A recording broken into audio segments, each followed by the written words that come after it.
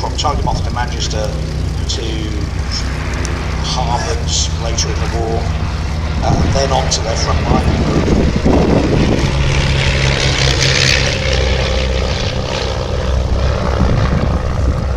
my time in the Air Force, I, I met some 22nd of May 1946 and introduced into operational service the very same year.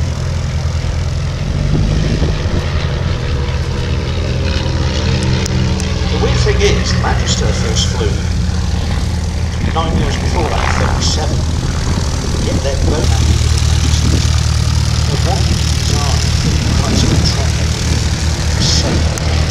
All rifles would be training or anything like that. Their engineers could pick up exactly where they left off. They just built a new airframe around it. And that's why it won the competition for the trainer. But a very, very clever man.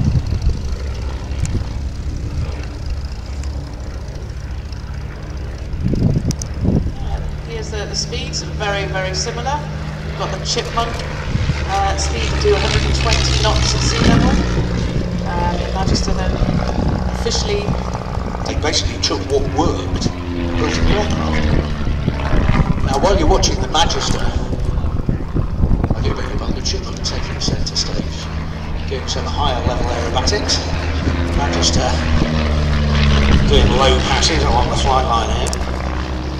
The interesting thing about the Magister was it had a system of communication between the pupil in the back and the instructor in the front. And it was basically a tube. And sometimes, uh, so the pupil had earplugs in with a tube that ran into the instructor's cockpit. He yelled down the tube at the pupil. And sometimes the pupil was a bit slow, shall we say.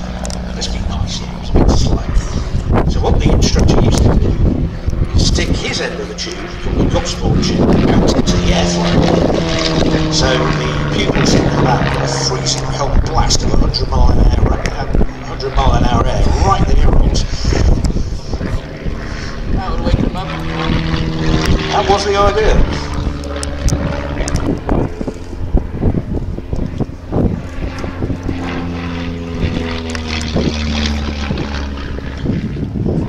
Of the things I love most about the story of Miles Aircraft